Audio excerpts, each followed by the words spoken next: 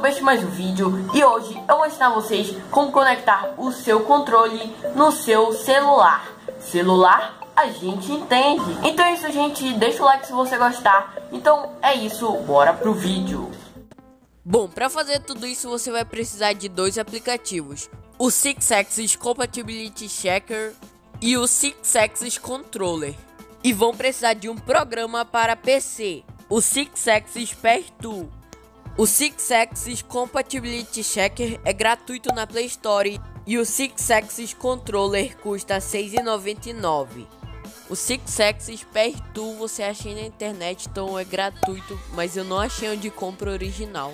Primeiro você vai abrir o Six Axis Compatibility Check, apertar em Start e vai estar tá carregando algumas coisinhas. Bom, depois disso vai estar tá pedindo acesso root nesse aplicativo, você aperta em permitir e pronto. Depois disso, você vai apertar o botão Power do seu controle e vai ficar piscando em cima, como todo mundo já sabe. Se o seu dispositivo for compatível, vai estar tá aparecendo esses pop-ups na tela junto com um código. Guarde aí que você vai precisar depois. Agora, conecte o controle no seu PC e abra o Six Axis Pair 2. Ele alterará o código Bluetooth do seu controle, fazendo que o seu celular e o seu controle sejam emparelhados. Lembra do código que eu te disse? Agora, escreva ele em Changmaster Master e aperte em Update. Agora abra o seu Six Axis Controller, aperte em Iniciar e vai estar tá carregando algumas coisas.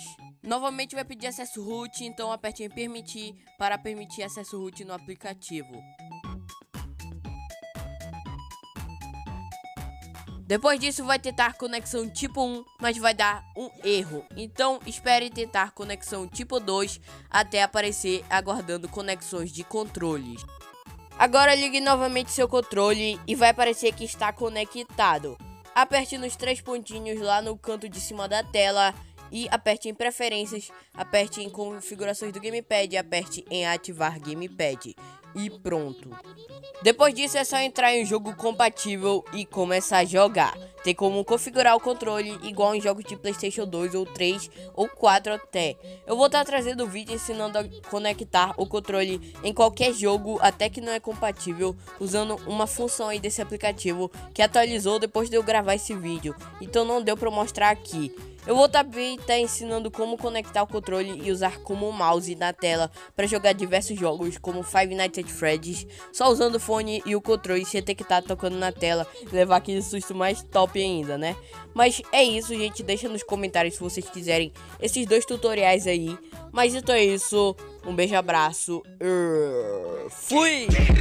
I got broads in Atlanta, the lean the family, credit cards in the scammers, hitting the licks in the